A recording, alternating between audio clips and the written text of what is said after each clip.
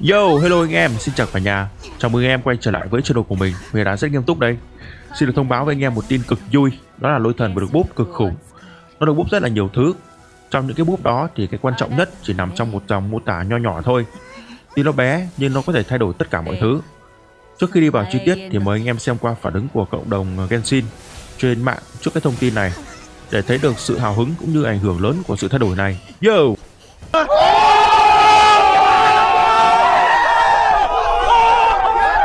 Ờ, xin được nhắc lại với anh em đây là thông tin có cho bản beta nó là thông tin có thể thay đổi. Còn ờ, video mình làm xong thì không thay đổi được nên là rất mong anh em thông cảm nếu như chỉ mai kia sẽ có thông tin khác đi ngược lại với những gì mình đề cập trong video này. Mình ờ, nghĩ là anh em hãy xem những tin tức này với một chút nghi ngờ để không bao giờ bị bất ngờ trước những cú bẻ lái từ nhà phát hành. Xin cảm ơn. Cái thông tin mình nhắc tới và quan trọng nhất đó chính là một dòng text ngắn được thêm vào trong mô tả hoặc được làm rõ ràng hơn trong mô tả chiêu thức nộ của lôi thần. Lược dịch trong 7 giây khi sử dụng nộ, sát thương gây ra bởi lôi thần bao gồm đánh thường, trọng kích và sát thương khi đáp đều được tính như là sát thương nộ. Đây là một thông tin rất quan trọng bởi trước khi có thông tin này thì mặc định người chơi và cộng đồng lớn về lý thuyết build như cây queen bên vân vân và vân vân đều hiểu rằng à, bộ bốn dấu ấn không búp đam cho trạng thái kiếm đơn của lôi thần. Cái thông tin đó hoàn toàn không sai, do đó là cơ chế của game hoạt động phổ quát từ trước tới nay áp dụng cho mọi nhân vật từ Seal tới Razor vân vân và vân vân. Khi có thêm mô tả rằng sát thương ở trạng thái kiếm đơn của lôi thần được tính như sát thương nộ, thì nó đã khẳng định rằng bộ bốn dấu ấn ngăn cách và vũ khí free mới trong phiên bản 2.1 sẽ búp rất mạnh cho trạng thái cầm kiếm đơn của lôi thần. Những vũ khí này đang được rất được mong chờ ở phiên bản 2.1. Đây là một cái ưu ái rất lớn đối với lôi thần đến từ nhà phát hành Miyoyo, Razer và Xiao đều không có cái dòng này. Tóm lại với cái thông tin này thì lôi thần hoàn toàn có thể build sắp DPS nhưng cũng đồng thời gánh luôn cả vai trò DPS. Tóm lại là build kiểu gì cũng chơi được. Với sự xuất hiện của Ayaka và Lôi Thần thì mình nghĩ rằng đây là làn gió mới cho việc sử dụng nhân vật sát thương. Nó vừa có thể nạp nguyên tố nhiều, sử dụng đam từ chiêu nội nhiều, sử dụng đồng hồ nạp, sử dụng vũ khí nạp nguyên tố nhưng vẫn giữ được vai trò DPS trên sân. À, hôm trước mình có làm cái video về Lôi Thần thì cái video này với những cái thông tin trong video này hoàn toàn không có mâu thuẫn với cái video trước đó. Chỉ là bây giờ Lôi Thần được bút mạnh hơn, còn cách build thì vẫn không thay đổi. Lôi Thần sẽ sử dụng bộ bốn rốn ngăn cách, đồng hồ nạp nguyên tố, vũ khí nạp nguyên tố, ly attack sử dụng liệt tách bởi vì à, cái nội tại của lôi thần sẽ chuyển hóa nạp nguyên tố thành à, ly sát thương nguyên tố lôi. Bạn sẽ được free một cái ly sát thương nguyên tố lôi. Nạp nguyên tố càng nhiều thì sát thương nguyên tố lôi càng mạnh. Việc sử dụng liệt tách sẽ giúp cho lôi thần không bị thọt đam nhiều khi chưa có nộ, giúp bạn chơi với vai trò DPS tốt hơn. Ngoài ra, do sử dụng đồng hồ nạp nguyên tố nên là cái ly attack sẽ bù lại một phần attack bị thiếu bởi cái đồng hồ nạp nguyên tố này. Nói như thế thì không có nghĩa là bạn không được sử dụng ly sát thương nguyên tố lôi.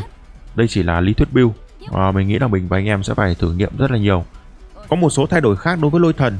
À, ví dụ như chiêu nộ đã được tăng từ 80 điểm năng lượng thành 90 điểm năng lượng.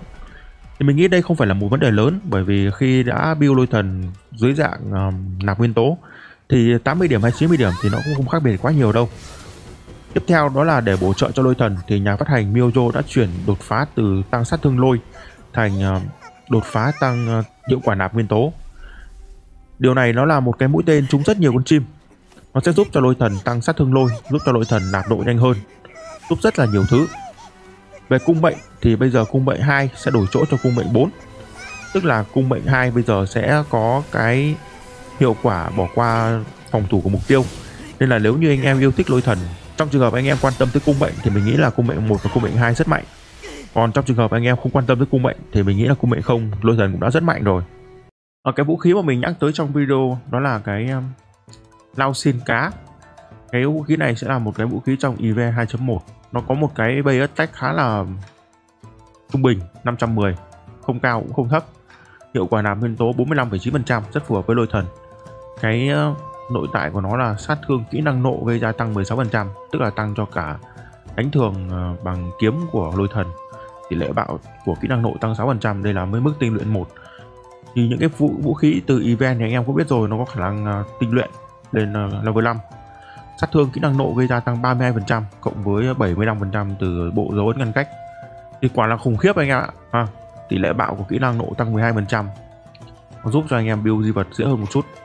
Thì uh, đây là một cái vũ khí free to play rất là phù hợp với lôi thần. Ok đây là về cái vũ khí free mà sẽ có trong phiên bản 2.1 ok đây là toàn bộ thông tin update về lôi thần. Cảm ơn anh em đã xem video anh em suy nghĩ gì về uh, lôi thần thì hãy để lại bình luận nha. Về sức mạnh của lôi thần thì bây giờ chưa thể nói trước được điều gì nhưng với những thông tin như thế này thì mình nghĩ sẽ rất là hứa hẹn. Ha hẹn gặp lại anh em trong những video sau. Nếu anh em đang xem video mà chưa đăng ký kênh thì hãy cho mình một đăng ký nha. Điều đó sẽ giúp mình rất nhiều.